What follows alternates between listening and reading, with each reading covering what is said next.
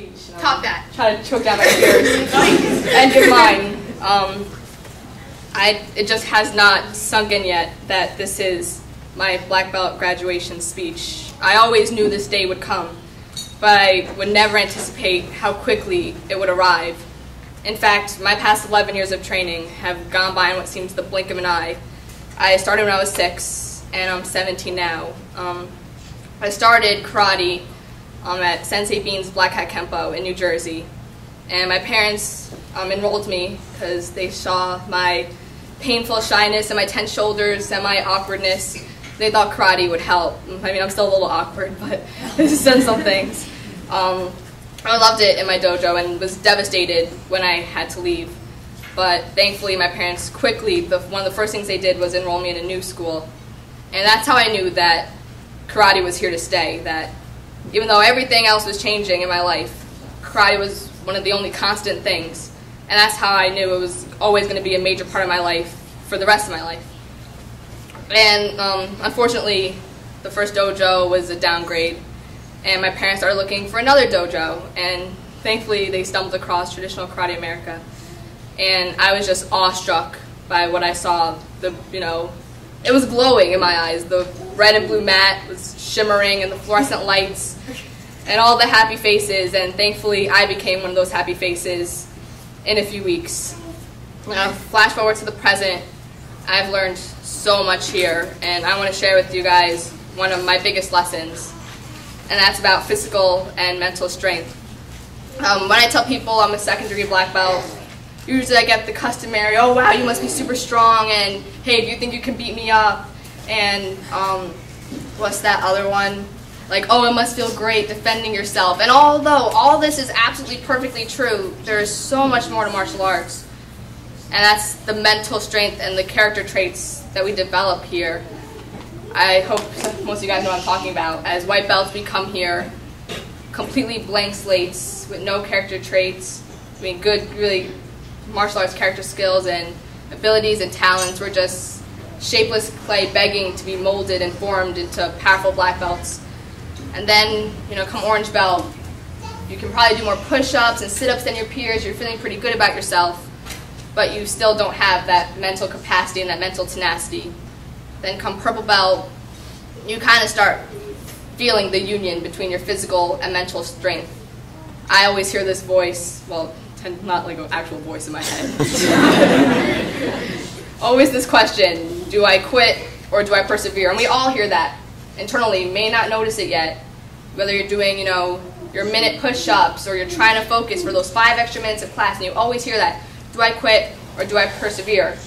And then there's that one moment when you finally achieve that perfect marriage of physical and mental strength where your body just instantly reacts and does not hesitate or responds affirmatively. And you don't even have to think about do I quit or do I persevere anymore because you just know that you've actually won the championship and not of another opponent, not of yourself, but of your biggest opponent.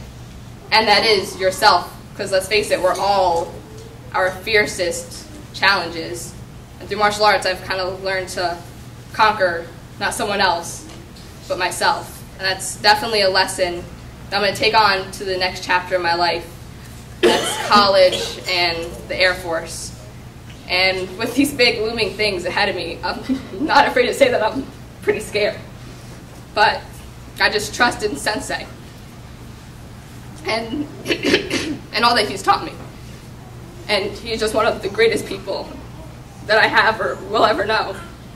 Just so generous and so giving, and I'm indebted to him in every way possible. And he's just one of those like good people who reminds you that there are good people in this world. And then there's no way I can't mention my senpais, like Senpai Kim, who has no idea how awesome she is or how much she's inspired me or how much I look up to her. We've laughed and we've fought, and I just love her.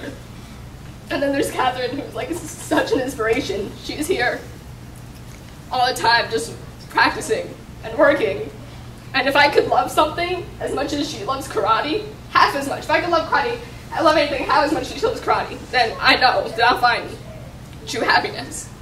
And then there's Brian, who's just like a living, breathing, walking model of what commitment and determination and success is.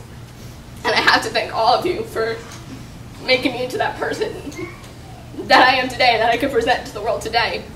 And then, of course, as a senpai, it's always instructing kids. I just love my students. I love all you guys. There's no one I'd rather see after a long day of school behind me and um, a long day of homework in front of me than my little tiger tots and my little dragons.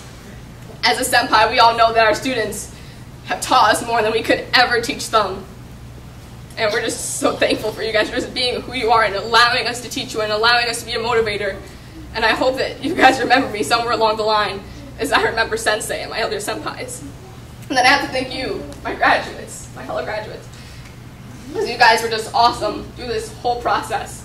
And I'm going to miss each one of you guys dearly.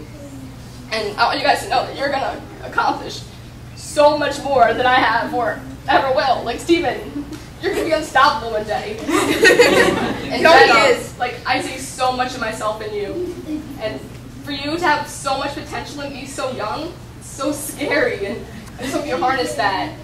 And Therese, like don't even ask me to spar you in a few years, because I won't be able to touch you. And I just want to thank everyone for like making this experience just so great for me and I'm gonna miss all of you so dearly, but it's not like I'm leaving because I'm taking karate with me. Didn't I say I wasn't gonna cry? you told me that too, and I told her that. There goes the contact.